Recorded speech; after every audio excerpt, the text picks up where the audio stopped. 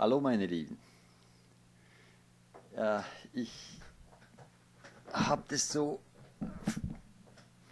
von dem Herrn empfangen, dennoch noch mal von der Endzeit mal ein bisschen äh, noch was zu sagen.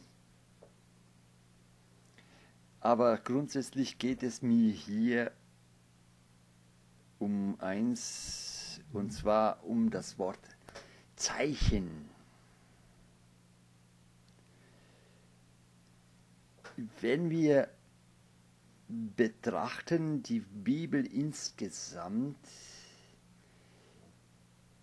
dann werden wir sehen, dass das Wort Bund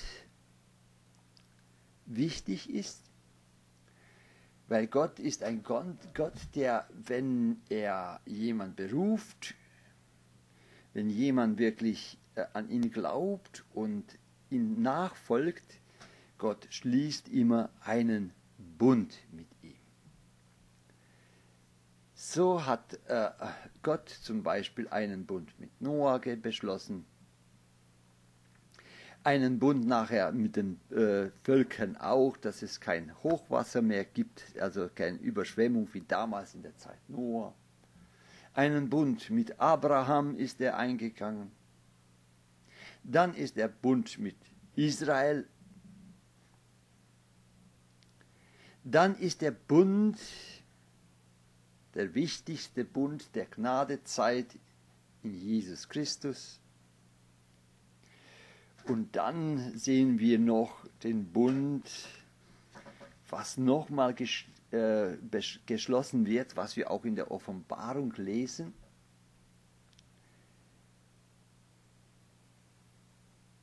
Und äh, von diesem dritten Bund möchte ich auch noch das vorlesen, weil es ist sehr wichtig zu wissen.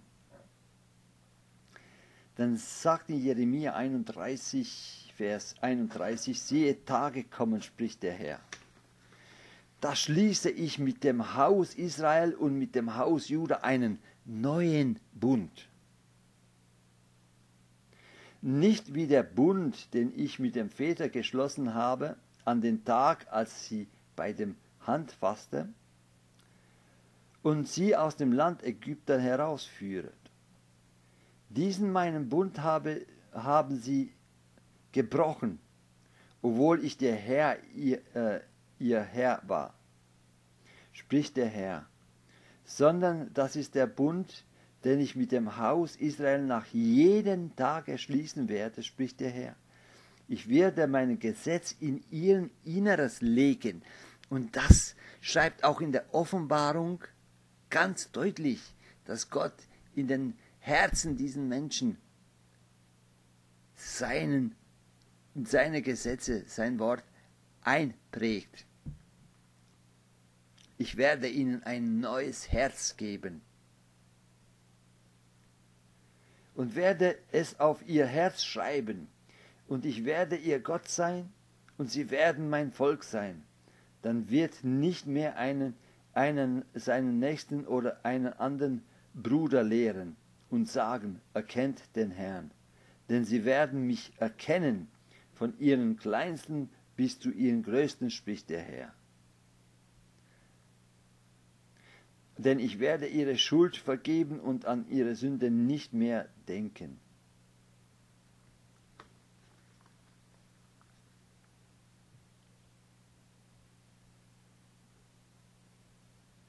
Ja, einen neuen Bund. Und das lesen wir bitteschön auch in Daniel als er über die 70 Jahrwochen spricht. Aber wir wissen ganz genau, dass auch hier ist bestätigt, dass das alte Bund nicht mehr bestehen wird.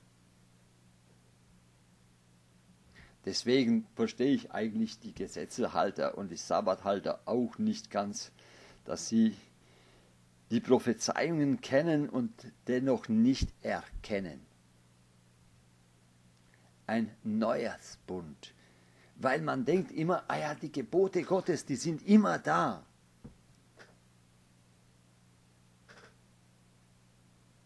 Und Jesus sagt selber, Das Gesetz sagt, aber ich sage euch. Natürlich diese ganzen Reihenfolge der zehn Gebote sind in allen drei Bunden eingefasst.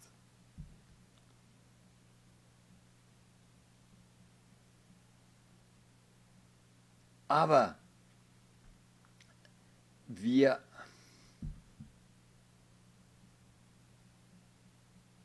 werden dann nicht mehr. es ist so schwierig, das zu erklären und zu verstehen. Jesus hat dieses Gesetz erfüllt. Und da er uns berufen hat, er wird in uns vollbringen, dass wir dem Gesetz nicht nach dem Gesetz folgen, und zwar weil du musst, sondern du folgst dem Gesetz nach, weil du liebst. Und das ist ein Unterschied. Das Alte ist gestorben, ist ein Neues und dieses Neues muss weggetan werden, um das neue Bund mit Israel wieder entstehen zu können. Und das verstehen viele nicht. Und dieser Bund fängt mit der 70. Jahrwoche an. Habt ihr einfach mal Israel betrachtet? Wenn ihr Israel betrachtet habt und das Zusammenkunft Israels, als die am Anfang noch klein angefangen haben, das Volk und das, die Städte da aufzubauen, da war noch viel Demut da. Da haben sie sich nicht groß gezeigt. Aber jetzt schreit Israel, wer ich bin, der Israel. Ich werde es nicht mehr zulassen. Und die bauen natürlich auch auf die Prophezeiungen auf. Und gerade weil Israel jetzt hochmütig geworden ist, wird nur ein Drittel von denen bestehen. Aber das ist auch wieder Gottes Gnade, weil aus diesen ein Drittel alle zwölf Stämme sein werden.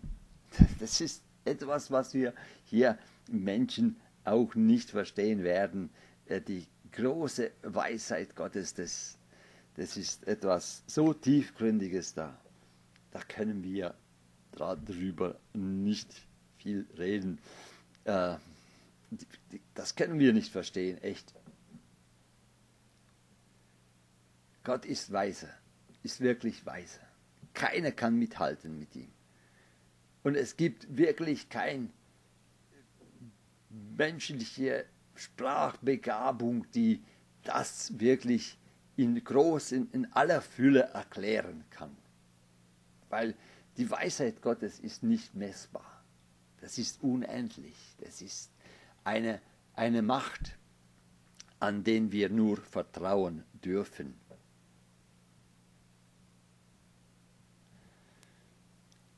Wenn wir diese Reihenfolge nicht sehen wollen, erstmal musste das alte Bund beendet werden, dafür musste Jesus Christus sterben. Jesus Christus ist gestorben, so ist das Testament, das Alte Testament, nichtig geworden. Fertig, aus. Dann ist der neue Bund in Christus, ein neues Testament hat angefangen. Und das muss erstmal zu Ende sein, um zu ermöglichen, dass der neue Bund mit Israel wieder aufgenommen werden kann. Und das ist bitteschön das Punkt, was viele Christen nicht verstehen. Es ist so deutlich beschrieben. Und wenn Gott sagt, ich werde ein neues Bund, und nicht nur hier in Jesaja, sondern in mehreren Propheten ist es deutlich in Offenbarung auch. Und Daniel sagt auch, der Engel sagt Daniel, 70 Jahrwochen für dein Volk. Und wenn er für deinen Volk sagt, dann sagt er nicht über die Nationen oder über, äh, weiß nicht was anderes, sondern es gehört nur alleine Israel. Und wenn die 70. Jahrwoche anfängt, da ist die Gemeinde nicht mehr da. Und dann, liebe Leute, kommen die 144.000. Dann kommen diejenigen, die im Blut Christi ihre Kleider waschen. Und nicht vorher. Aber erst muss die Gemeinde weg. Und es sind so äh, Spiele mit Wörtern, wo man sagt, naja, das ist so geschrieben, aber man kann das nicht so nehmen, weil es ist auch geschrieben. Es ist ganz deutlich geschrieben, man muss nur mit Herzen und in Glauben achten auf die Worte, was niedergeschrieben werden äh, sollten. Jesus hat auch viele Beispiele gebracht und die Schriftgelehrten haben nicht alles verstanden. Aber das haben sie verstanden, wenn Jesus ein Beispiel gesagt, was auf die bezogen hat. Ja, dann waren sie wütig und wollten ihn töten. Zeichen. Zeichen ist etwas, was die ganze Menschheitsgeschichte begleitet.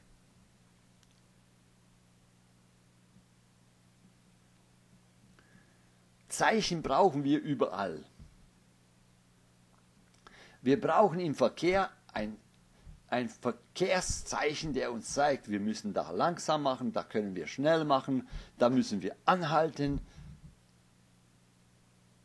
Am Bahnverkehr müssen wir auch Zeichen haben, da muss der Zug wissen, jetzt muss er stoppen, da kommt ein anderer Zug, sonst gibt es Unfall.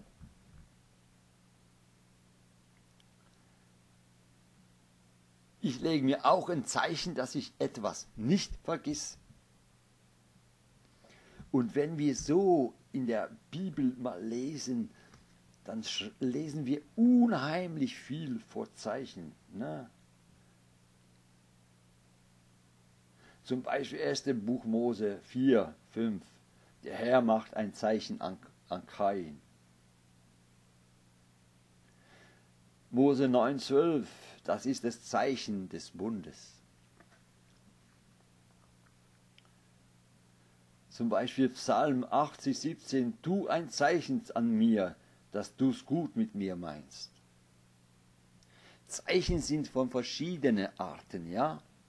Ein Zeichen kann ein Wunder sein, ein, ein gutes Tat oder ein Gerichtsvollbringung, ja. Als äh, äh, Lot aus Sodom und Gomorra raus war, hat Gott ein Zeichen über Sodom und Gomorra gesetzt, der Zeichen des Vernichtungs, des Gerichts. In Zeit Noah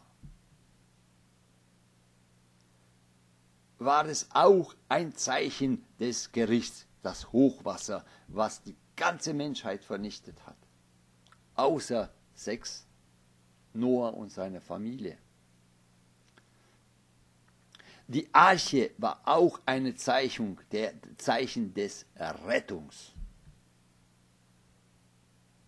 Das Regenbogen ist auch ein Zeichen eines Bundes, was Gott über seinen Thron hat. Das Blut Christi ist auch ein Zeichen an uns gesetzt dass wir Kinder Gottes sind, rein gewaschen durch ihn. Und Gott, wenn er uns sieht, sieht das Blut seines Sohnes und er weiß, das ist mein Kind. Das ist ein Zeichen. Aber es gibt, ja natürlich, es gibt auch die Zeichen, was auch der Antichrist macht er bringt Zeichen vom Himmel, Feuer und so weiter. Aber das hat Mose auch Zeichen und Wunder gemacht vor dem Pharao. Und der Pharao hat nicht geglaubt.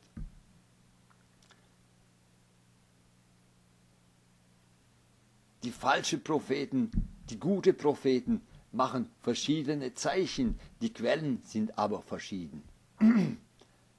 Die Machtquellen sind verschieden. Das Mahlzeichen des Tieres, des Antichristen, ist auch ein Zeichen für diejenigen, die ihn anbeten. Und der Engel wird am Ende der Zeiten die, diese, die Gott gehören, die an Gott glauben, ein Zeichen auf den Stirn machen, dass sie vor, vor Gericht äh, beschützt werden. Zeichen sind immer sehr wichtig. Und es ist das Zeichen des Bundes, wie zum Beispiel ich jetzt gerade er erwähnt habe, Regenbogen, Blut Jesus Christus. Und da im äh, Jesaja 7, da ist geschrieben, und der Herr fuhr fort, zu Ahas zu reden und sprach, fordere, fordere dir ein Zeichen vom Herrn, deinen Gott. In der Tiefe fordere es oder oben in der Höhe. In der Tiefe oder Höhe, das kann auch im Himmel sein oder aus, der, aus dem Tiefgrund der Erde sein. Fordere ein Zeichen und ich werde es dir geben. Ich will dich, ich will nicht fordern, sagt Ahas, ne? Und will den Herrn nicht prüfen. Ich will den Herrn nicht prüfen, ich prüfe mich selbst, dass ich im Herrn bin. Ich will den Herrn nicht prüfen mit, mit Forderungen von Zeichen oder was auch immer. Da sprach er, hör doch Haus David, ist es euch zu wenig Menschen zu ermüden, dass ihr auch meinen Gott ermüdet? Wisst ihr, Oft das Fordern für Zeichen ist es wichtig. Wenn ich eine wichtige Entscheidung treffen muss im Leben und ich sage, Herr, gib mir ein Zeichen, dass es dein Wille ist und oder gib mir ein Zeichen, wo möchtest du mich haben? Das ist eine, äh, eine Bitte aus Demut und nicht aus Forderung. Das ist ein Unterschied. Ich bitte, Herr, ein wegweisendes Zeichen. Und er sagt, darum wird der Herr euch ein Zeichen geben. Die Jungfrau wird schwanger werden und einen Sohn gebären und wird seinen Namen Immanuel nennen. Und dieses Zeichen ist auch geschehen. Aber Moment, sollen wir jetzt das als Zeichen nehmen? Maria war Jungfrau, sie hatte geboren, ist es ein Zeichen? Ja, es war ein Zeichen, auf den niemand geachtet hat. Genau so wie der Stern Bethlehem, dass der Volk, sein eigener Volk nicht erkannt hat, dass dieser Stern ist der Stern des Königs der Juden. Nein, die haben diese Zeichen nicht erkannt.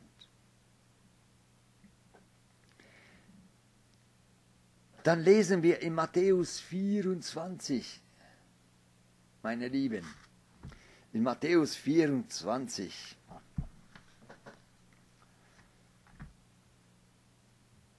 Ab Vers 30. Und dann wird das Zeichen des Sohnes des Menschen am Himmel erscheinen. Also es gibt nicht nur Zeichen wie Sterne, wie der Mond und die Sonne, die die Endzeit zeigen, sondern es werden Zeichen, die sichtbar sein werden beim das Kommen des Sohnes des Menschen. Und die werden die erst als Zeichen und dann auch als Kommen sehen.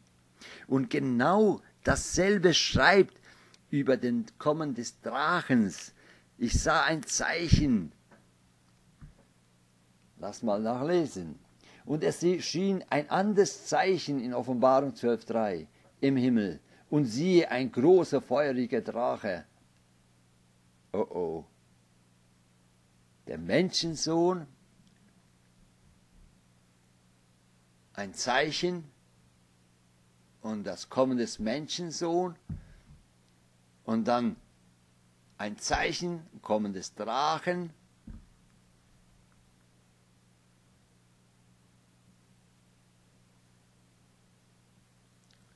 Zeichen. Und diese Zeichen sind nicht zu verwerfen. Gott spricht zu uns durch Zeichen.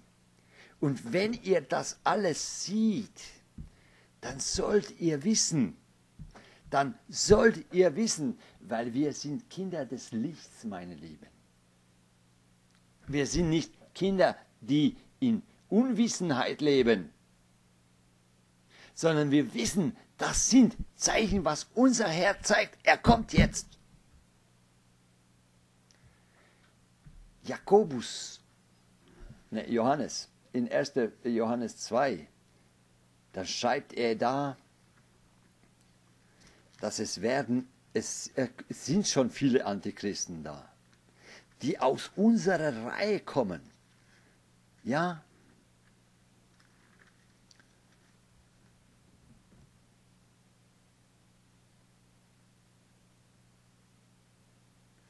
So. Es sind Moment, ich gucke gerade noch. Ja, das ist dann in der 1. Johannes 2.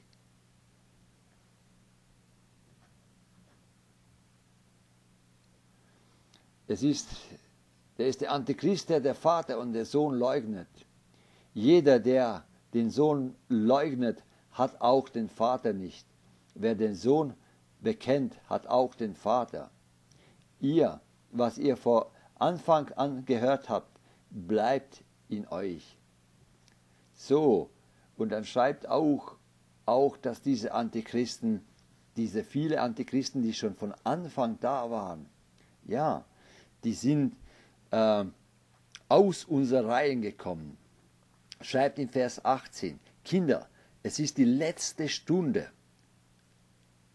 Hat Jesus in Gethsemane auch nicht gesagt, die Stunde ist da? Aber Jakobus, Johannes sagt hier, es ist die letzte Stunde. Also sagt nicht, die Stunde ist da, sondern es ist die letzte. Es ist die letzte Stunde und wir, wie ihr gehört habt, dass der Antichrist kommt, zu, so sind auch jetzt viele Antichristen aufgetreten. Daher wissen wir, dass es die letzte Stunde ist. Also es sind Zeichen, dass wir sehen können. Und wie kann ich sehen? Ich kann nur sehen, bitteschön, wenn ich das Wort der Wahrheit kenne, dann kann ich unterscheiden zwischen gut und schlecht. Dann kann ich unterscheiden zwischen böses Geist und Heiligen Geist. Weil der Geist Gottes ist in mir. Und das, was aus dem Geist komme, kann ich sofort erkennen. Heiligen Geist kommt, kann ich. Und das, was aus einem bösen Geist, das kann ich auch erkennen. Und dann sage ich, das ist ein Antichrist. Das ist ein falscher Prophet. Das ist ein Prophet, der nicht die Wahrheit sagt. Und diese Zeichen müssen wir ernst nehmen. Und die Zeichen der Verführung heute ist sehr groß. Das wahre Evangelium hat keinen Raum mehr. Israel blüht nicht nur, die bringt schon Früchte die ist schon in Hochmut zu betrachten. Ich bin Israel das Große, das Mächtige, das, ich habe Atombomben. Ich habe Ich kann Wasser reinigen. Ich, ich verkaufe schon von Obst und Früchte und alles Mögliche, weil ich reich bin. Und wenn wir lesen, Gott wird das wieder alles vernichten lassen, dass sich kein Mensch rühme. Deswegen muss der Samen erst sterben. Deswegen musst du und ich auch erst sterben in Jesus Christus, mit Christus Jesus, um ein neues Wesen zu sein. Zeichen tragen auch die Moslems an der Hand oder und auch die Juden haben diese Zeichen ja an der äh, Stirn und am, äh, am Länder und es sind Zeichen. Zeichen braucht man immer wieder.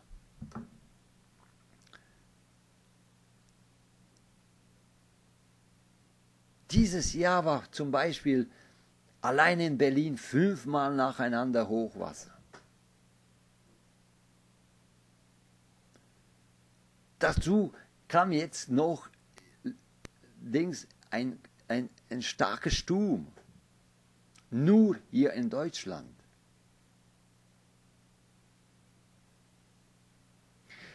Irma hat Florida Key total vernichtet. Da schreibt, schreiben die Nachrichten, dass Florida Key ist nicht mehr bewohnbar ist nicht mehr bewohnbar. Die haben schon viele Hurrikans erlebt, aber so noch nicht. Und die ganze Hochwasser, Bangladesch, äh, Erdbeben, Hochwasser in äh, Mexiko, in äh, ähm, Indien, China, äh, in der Türkei die Erdbeben äh, und Hochwasser auch da, äh, Hagelstürme, eins. Das, ein Tag ist nicht jetzt auf der Welt, wo wirklich große Katastrophen nicht da sind. Und ich möchte darauf hinweisen, meine Lieben, der Siegel ist noch nicht geöffnet. Der erste Siegel ist noch nicht geöffnet. Das Gericht Gottes ist noch nicht ganz offensichtlich begonnen. Und dennoch, das Gericht hat angefangen, aber nicht das Endgericht. Das sind Zeichen für uns als Kinder Gottes, auf das wir trachten müssen.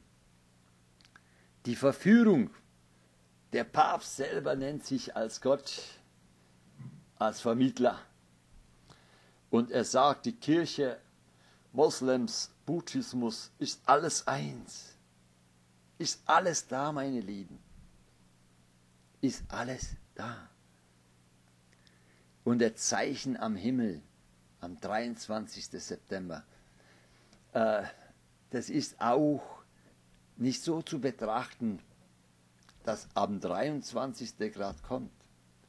Das kann sein, dass Gott wirklich noch ein paar Tage drauflegt, um die Spötter, den Spötter einen, einen äh, äh, Grund zum Lachen gibt. Sieht ihr, der 23. ist vorbei, es ist nichts passiert. Und wenn keiner erwartet und keiner denkt, dann geht es los. Ich weiß es nicht. Es kann sein, dass der Herr sogar vor oder nach oder am den Datum. Aber es, ich denke schon, dass es nachhinein passiert aus dem einen Grund, weil Gott las, lässt die Ungläubigen ins Gericht reinlaufen. Er lässt sie in den Gericht reinlaufen. Wir haben so viel Zeichen. Und wisst ihr, liebe Geschwister, wichtig ist hier, bereit zu sein, wenn er kommt. Wichtig ist, in Gebet zu sein.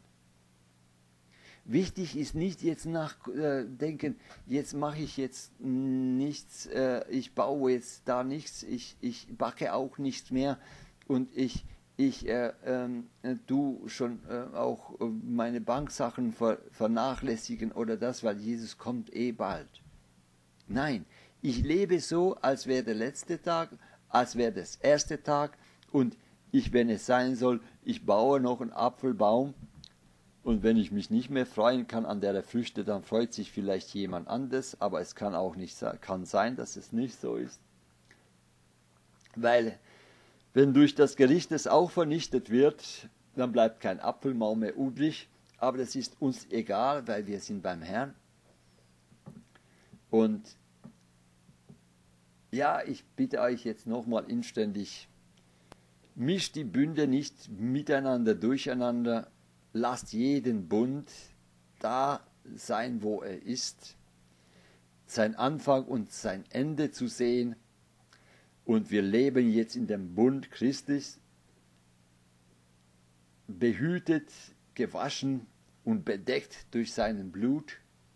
Und wenn dieser Bund zu Ende geht, dann sind wir beim Herrn. Dann ist Herr Jesus gekommen in den Wolken nur für uns, sichtbar nur für uns und wir freuen uns sehr darüber. Wir sollen im Gebet wirklich stehen für die ganzen Christen, die in Verfolgung sind, die in diesen schweren Situationen, die vielleicht miterlebt haben, das Gericht ja, und haben Häuser verloren. Wir sollen daran denken. Und wir sollen dankbar sein, dass wir hier noch im Frieden leben dürfen. Wir dürfen genießen noch das Frieden. Wie lange noch, weiß ich nicht. Aber das kann plötzlich kommen. Von einem Tag auf anderen. Meine Lieben, ich habe immer gesagt, ich werde über die Endzeit nicht mehr reden. Aber ich denke, es ist wichtig für uns, zu erkennen, wie wichtig Zeichen für uns sind. Weil Gott redet oft durch Zeichen. Oft durch Zeichen. Das Wort Zeichen weiß ich gar nicht, wie viel Mal das in der Bibel drin steht. Hab nicht nachgeforscht, aber ich sehr, sehr oft. Mal, vor, mal äh, fordern wir ein Zeichen, mal gibt er uns ein Zeichen. Oder das Zeichen unserer Herr Hingabe ist das, dass ich ihn anbete und dass ich nichts aus meinem freien Willen mache, sondern ich auf seinen Willen betrachte. Das sind alles Zeichen. Und nimmt ernst diese Zeichen. Weil diese Zeichen sind für uns gegeben, sei es ein Sternzeichen, sei es eine Naturkatastrophe, sei es eine Begegnung in meinem Leben mit etwas, mit jemand, sei es eine Krankheit, sei es eine Heilung. Es sind alles Zeichen, Zeichen der Liebe, Zeichen des Gerichts, Zeichen des Ermahnungs, alles Zeichen, die wir ernst nehmen sollen. Gott segne uns alle und prüfet euch, dass ihr bereit seid, wenn der Herr Jesus bald kommt. Denn er kommt, weil die Zeichen der Zeit sind erfüllt. Amen.